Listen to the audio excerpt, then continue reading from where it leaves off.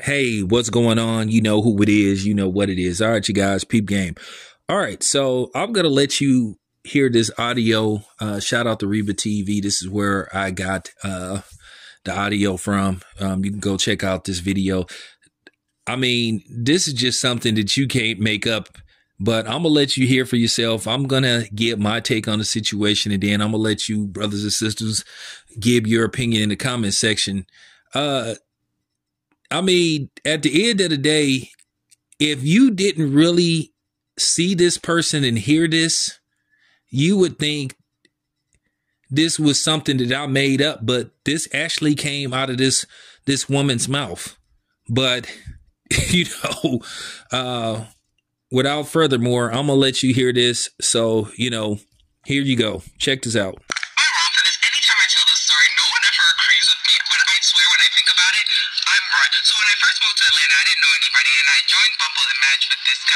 Been talking, I think, for like two or three weeks, and I got a good vibe. So anyway, I had asked him if he knew any handy people, because I had a lot of like furniture coming into my apartment, and I needed help putting it together.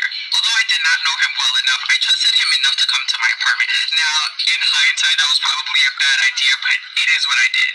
So before he came to my apartment, I had a conversation with him payment because I didn't want for him to come and I didn't like him and then he felt like he got got. So we talked about payment and I told him I'd give him a certain amount for him putting together like two pieces of furniture. Well, he put together a bed and a desk. So I don't remember exactly how much we agreed on, but I did say I was gonna sell him the money. So when he came over, he came over like early this Saturday morning and he ended up like starting right away. He was definitely somebody that I could see myself talking to But in the long haul. So it was cool. Like he was putting this, we were getting to know each other. We were talking about family. We were talking about life, all this kind of stuff. So around lunchtime, I ordered us something to eat, and as we were eating, we were like really talking. Right? It was good. So when he was done, he kind of like chilled for like another couple of hours just to like rest, and we were really vibing. And he was like, "I would really like to see you again," and I was like, "Cool." So when he's ready to go, we go outside, and he gives me a hug, and then he's like, "Okay, so I'm gonna text you my Zelle information so you can send the payment." and I'm like, okay. In the moment, I was just a little shocked, but I didn't like let it on. I was just like, okay, just text it to me. thank you for coming over. I really appreciate it. And then I didn't say anything else, and he was texting me, and I did not respond. And he wasn't used to that because obviously we have been like texting all day long, you know, talking throughout the day. It was good at that time, but then I just decided that the fact of him asking me for money after like we had a good day and I I do understand that we agreed upon it but I just thought it would be different since we were going to start dating. So finally he asked me like what's up and I was just like honestly I only did this for you for that but I really thought it was tacky that you actually asked me for the money afterwards and and you took it. So I did end up cutting it off and we didn't talk again but when I told my cousin about it she was like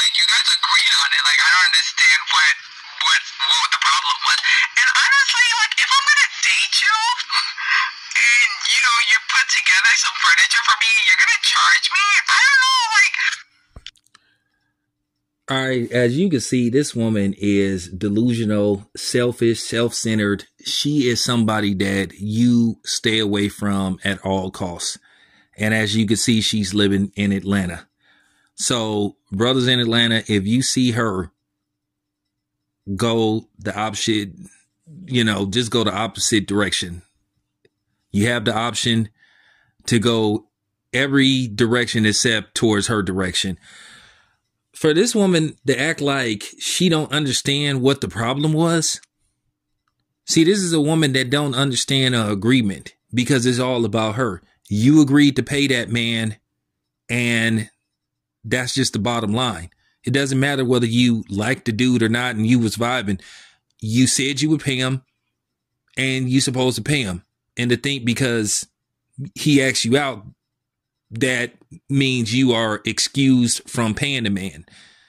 You know, a lot of times dudes already feel like they get used when women ask them to come over there and put together some stuff for them. And then a lot of times the woman ain't feeling them and they just give them a thank you. uh, and that's it. And they feel kind of slighted. So she agreed to pay him. But due to the fact that he asked her out, she felt like that was tacky. How's that tacky?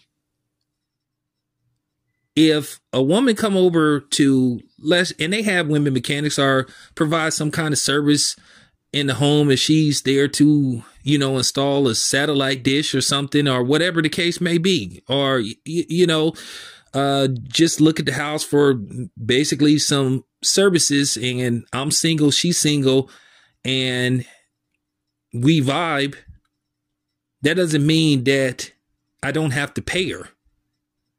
If she hands me a bill I'm supposed to pay her.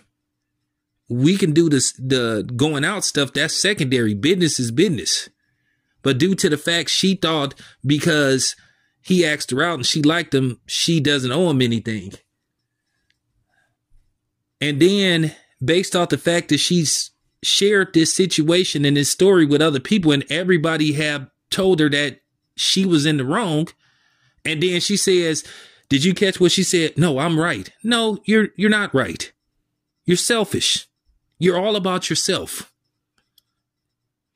And a lot, you know, and this is really deep too. I'm going to do a video about this, telling the story, what happened to me. And a lot of women do this a lot where they think, you know, vibes and all that and eye contact means, or, you know what I'm saying, going out with you means that's payment and all that kind of stuff. Cause I'm to really go in deep about that particular situation. But this lady, wow